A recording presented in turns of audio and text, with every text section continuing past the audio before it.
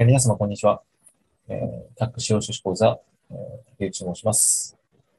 えー司法書士、えー試験、えーを目指されている、えー受験生の皆さん、日々の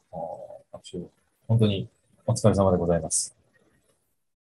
えー私自身もお受験生であった身です。当然ながらなんですけれども、勉強していた頃ですね、えー皆様の勉強している姿を見ると、すごく懐かしく、思うとともに、大変だったな、辛かったな、っていうのもありますし、楽しかったな、っていうふうに思い出すこともあります。えー皆様のですね、もうまさに直前期、これから、ああと、本当に指で、指折り数えられるぐらいですね、えー時間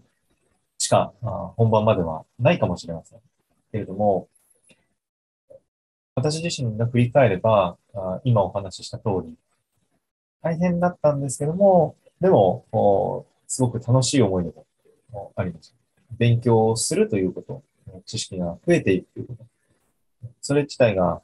すごく僕にとって、えー価値のある時間だったな、というふうに、えー、蘇ってきます。えーぜひですね、えー皆さんには、気持ちよく、試験当日を迎えてほしいと思います。えー私自身は、えー皆さんも、皆様、あお一人お一人のですね、合格に直結するような何か、とても素晴らしいノウハウがあったりとか、えーかけられるテクニックがあったりと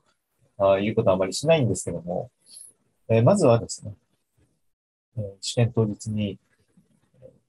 試験日にですね、席にお付きになって、で、よし、やるぞと気持ちが入ってですね、3時間と2時間の試験をやりきってもらえるっ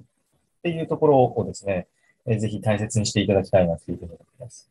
なので、えー私からあお願いするのは、あぜひですね、えーご自身を責めすぎないことをお願いしたいと思います。直前期になれば、今までやってきた勉強がなんでこんなに入ってないんだですね。あるいは、覚え間違えているんじゃないかですね。えーご自身を、自分自身でですね、こう、す責め立てるような瞬間というのは、こう毎度毎度やってくる、可能性があります。私自身が受験生の時そうだったので、試験日1週間前にですね、覚え間違えてるってことに気づいて、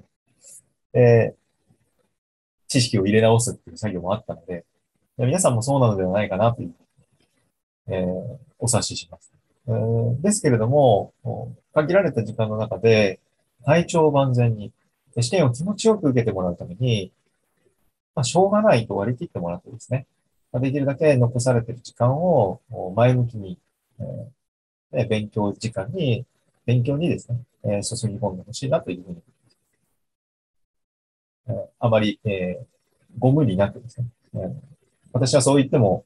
皆さん人生のかかった試験ですから、あの、やりきってくださるものと思いますけれども、えーご無理なく、体調を崩されず、